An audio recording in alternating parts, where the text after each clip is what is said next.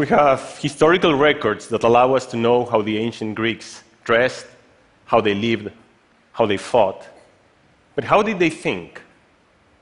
One natural idea is that the deepest aspects of human thought, our ability to imagine, to be conscious, to dream, have always been the same. Another possibility is that the social transformations that have shaped our culture may have also changed these structural columns of human thought. We may all have different opinions about this. Actually, it's a long standing philosophical debate. But is this question even amenable to science?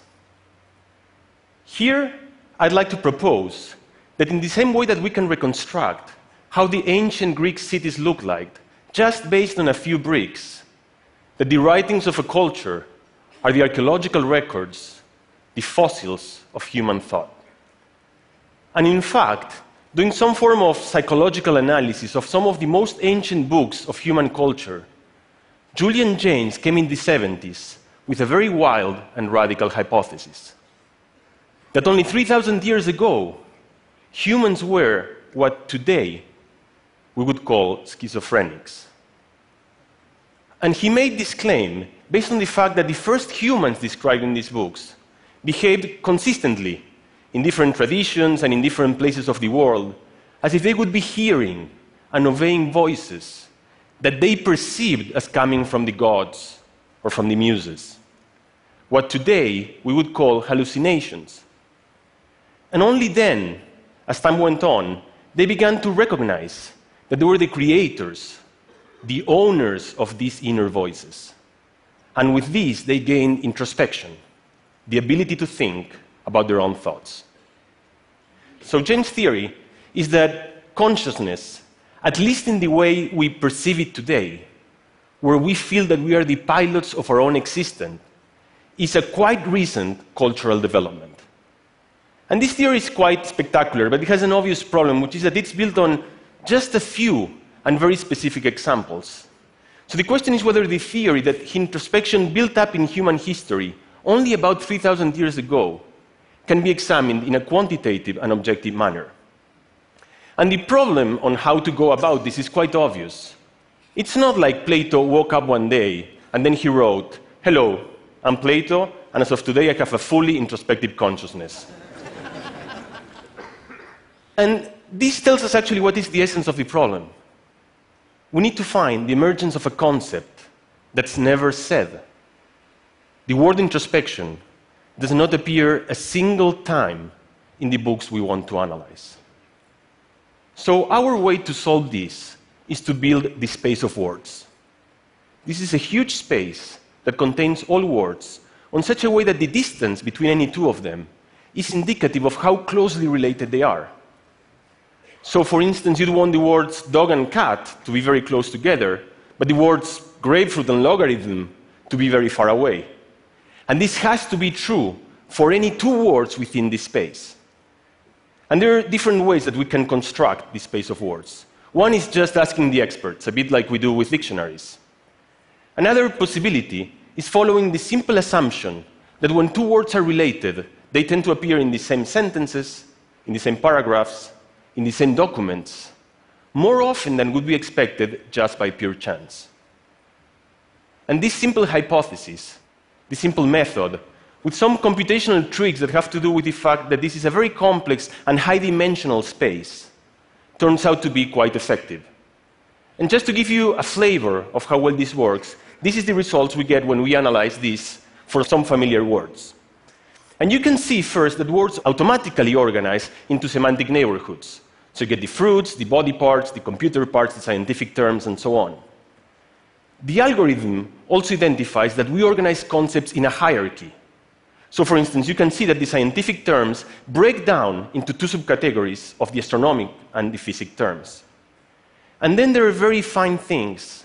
For instance, the word astronomy, which seems a bit bizarre where it is, it's actually exactly where it should be between what it is, a natural science, and between what it describes, the astronomical terms.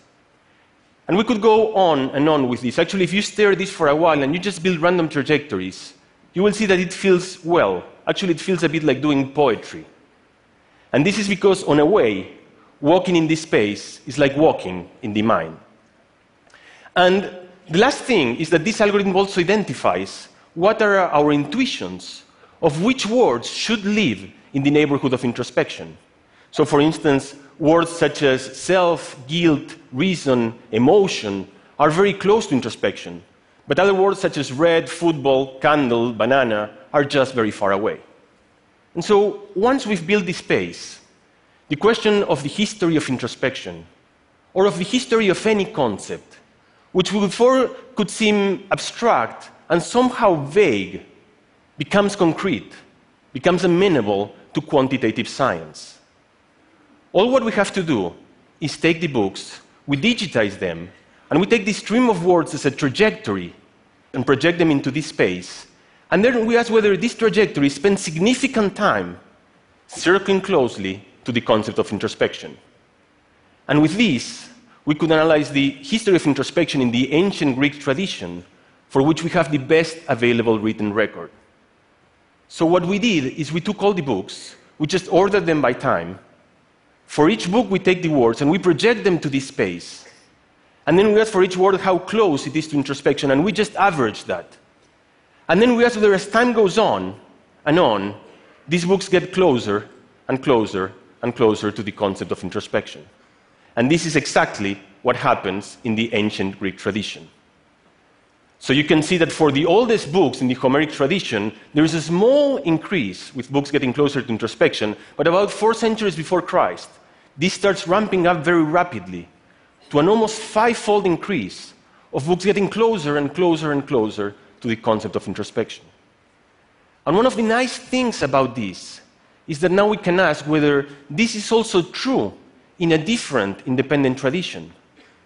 So we just ran the same analysis on the Judeo Christian tradition, and we got virtually the same pattern. Again, you see a small increase for the oldest books in the Old Testament, and then it increases much more rapidly in the new books of the New Testament. And then we get a peak of introspection in the work Confessions of St. Augustine, about four centuries after Christ. And this was very important because St. Augustine had been recognized by scholars, philologists, historians as one of the founders of introspection. Actually, some believe him to be the father of modern psychology. So, our algorithm, which has the virtue of being quantitative, of being objective, and of course of being extremely fast. It just runs in a fraction of a second, can capture some of the most important conclusions of this long tradition of investigation. And this is, in a way, one of the beauties of science, which is that now this idea can be translated and generalized to a whole lot of different domains. So, in the same way that we asked about the past of human consciousness, maybe the most challenging question we can pose to ourselves is whether this can tell us something about the future of our own consciousness. To put it more precisely, whether the words we say today can tell us something of where our, our minds will be in a few days, in a few months, or a few years from now. And in the same way, many of us are now wearing sensors that detect our heart rate, our respiration, our genes, on the hopes that this may help us prevent diseases. We can ask whether monitoring and analyzing the words we speak, we tweet, we email, we write, can tell us ahead of time whether something may go wrong with our minds. And with Guillermo Cecchi, who has been my brother in this adventure, we took on this task. And we did so by analyzing the recorded speech of 34 young people who were at a high risk of developing schizophrenia. And so what we did is we measured speech at day one, and then we asked whether the properties of this speech could predict within a window of almost three years the future development of psychosis. But despite our hopes, we got failure after failure. There was just not enough information in semantics to predict the future organization of the mind. It was good enough to distinguish between a group of schizophrenics and a control group, a bit like we had done for the ancient texts, but not to predict the future onset of psychosis. But then we realized that maybe the most important thing was not so much what they were saying, but how they were saying it. More specifically, it was not in which semantic neighborhoods the words were, but how far and fast they jumped from one semantic neighborhood to the other one. And so we came up with this measure, which we term semantic coherence, which essentially measures the persistence of speech within one semantic topic, within one semantic category. And it turned out to be that for this group of 34 people, the algorithm based on semantic coherence could predict with 100% accuracy who would develop psychosis and who would not.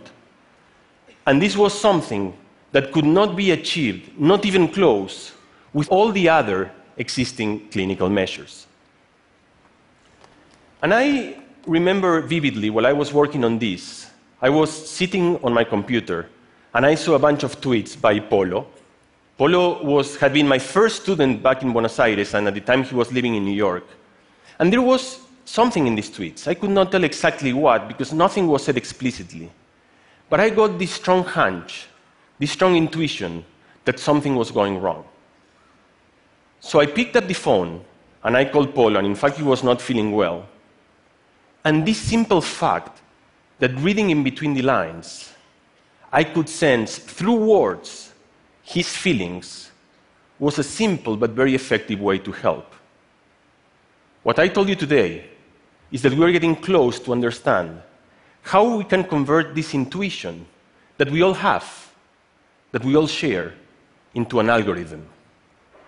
And on doing so, we may be seeing in the future a very different form of mental health based on objective, quantitative, and automated analysis of the words we write, of the words we say. Gracias.